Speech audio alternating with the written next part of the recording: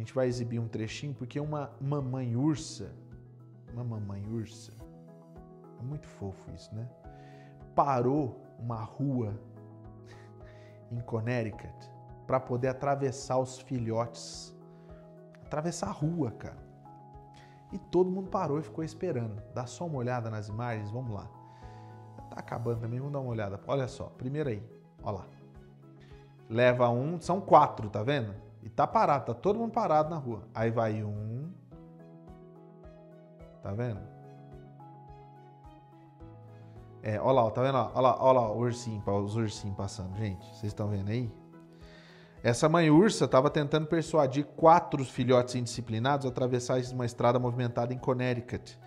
E isso viralizou na internet. Centenas de pessoas responderam ao vídeo de quatro minutos sobre essa briga do, do, do urso, que foi no domingo, lá em Winchester. Olha só.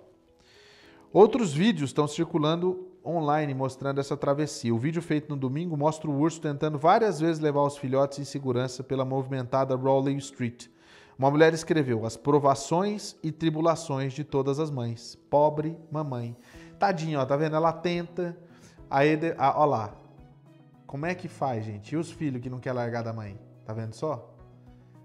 Que triste, gente. E vai e volta e vai. Olha lá, ó. A hora que... E aí tem um que sobe na árvore, não tem? Não tem um que sobe na árvore? Olha lá, olha lá, olha lá.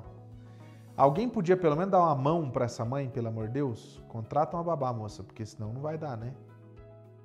Tipo isso. Olha só. Muito obrigado pela sua audiência, muito obrigado por você que está aqui assistindo a gente.